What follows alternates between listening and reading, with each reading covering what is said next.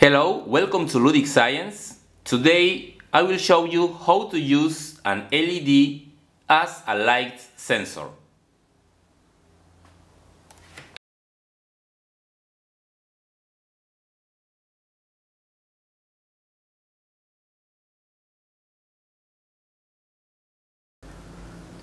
Everybody knows that an LED emits light.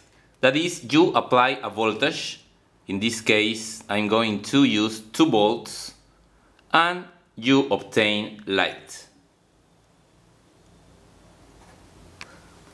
However, LEDs also work in reverse. That is, if you apply light to them, they produce a voltage. Let me connect the LED to my multimeter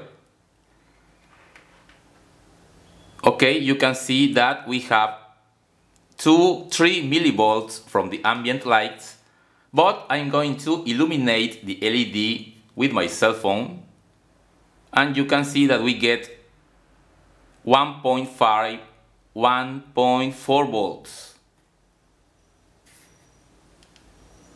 So we get a voltage from the LED by applying light. And we can use this to drive a circuit.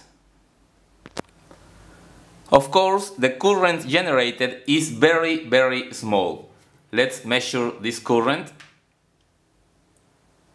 It is about 2 or 3 microamps.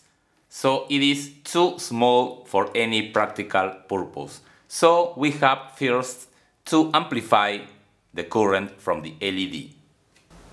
And here's the circuit this is the detecting LED.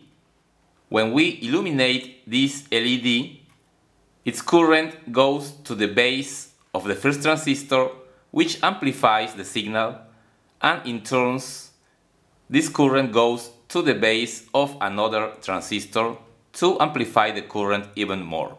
And this amplified current is used to turn on a second LED. So here's the circuit. The red LED is the detector and you can see a faint glow in the other LED from the ambient light.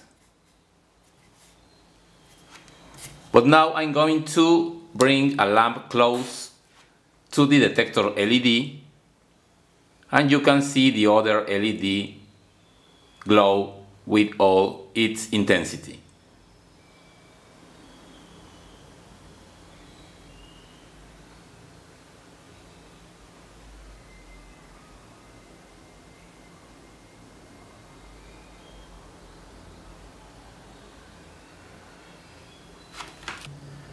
Of course, you can put a relay in place of the LED in order to control a larger load.